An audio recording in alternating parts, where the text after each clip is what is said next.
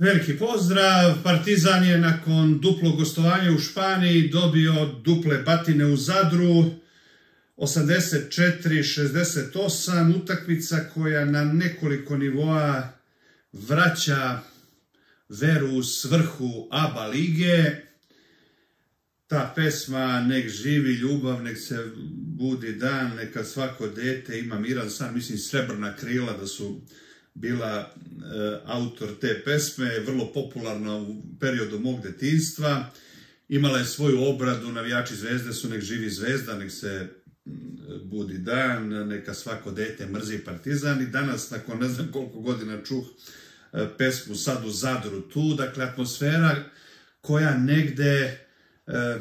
da može da se isprati i sistemskim nekim pristojnim kvalitetom tima, napravila bi od ABA lige jednu od najkvalitetnijih e, liga Evrope. Mlađi ne znaju, ali ovako je bilo manje više na svim utakmicama. E, tamo ima ono Hea, Hea Cibos i dođeš tamo u, u, Zagreb, atmosfera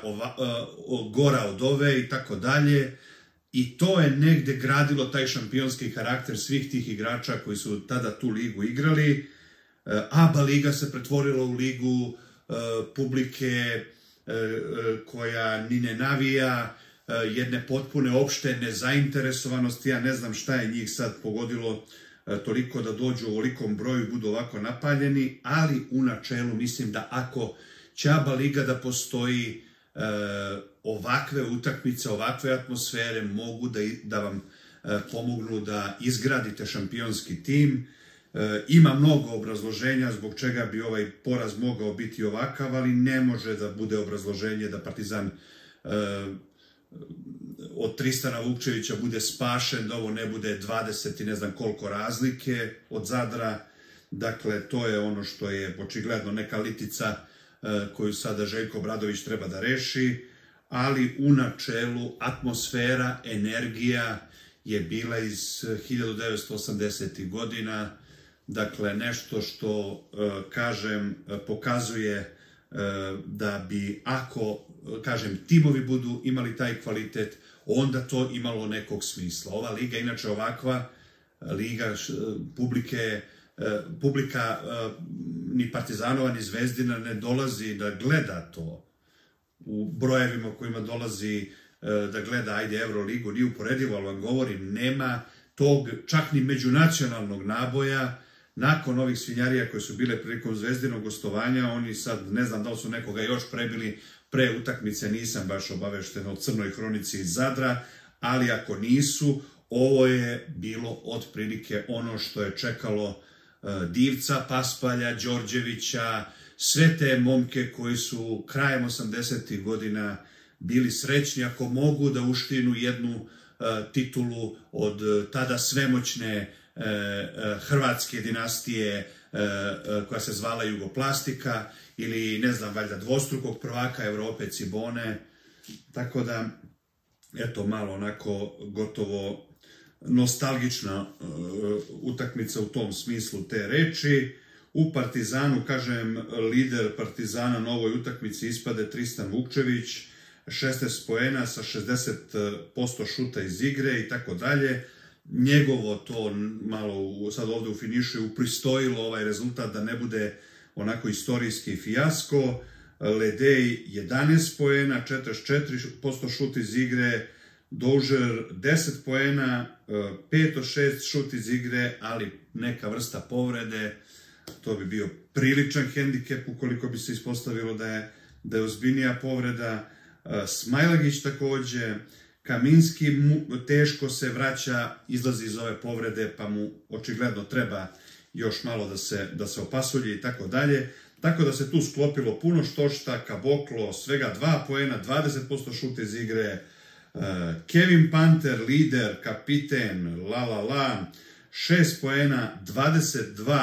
22% šut iz igre, dakle, e, ispade veći lider na ovoj utakmici Tristan Vukčević nego Kevin Panter, da ne sad mračimo, Partizan e, će morati da e, brani titulu ABA lige pobedom na, gostujućem terenu, očigledno, u nekoj od ovih playoff serija. I to je otprilike rezultat svega ovoga. Partizan e, gura fantastično u Euroligi, ali evo ovo vam je jedan pokazatelj da kada imate taj dupli program u Španiji i već protiv Madrida se vidjelo jedan netipični pad u formi,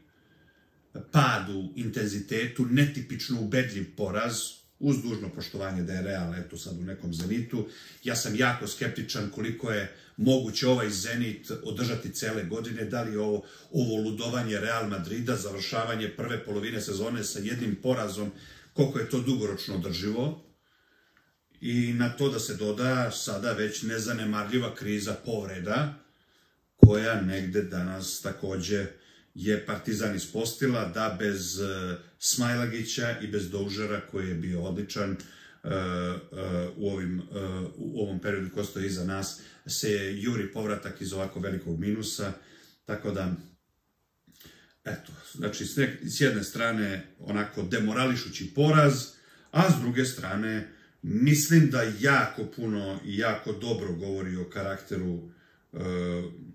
recimo Tristana Vukčevića, da je on uspeo za 18 minuta na terenu da da 16 pojena na ovakvoj jednoj utakmici, da se nije predavao i tako dalje. I kažem, nažalost mislim da će ovo biti jedina utakmica ove vrste, da će protiv Cibone da škripe patike, protiv Splita će doći ono publika nostalgična koja, koja ne pravi ovakvu vrstu atmosfere, a sad da ova dečica koja su mlađa razumeju, sad zamislite Torcida, pa Bad Blue Boysi, pa stvarno dolaze, pa stvarno vrše pritisak,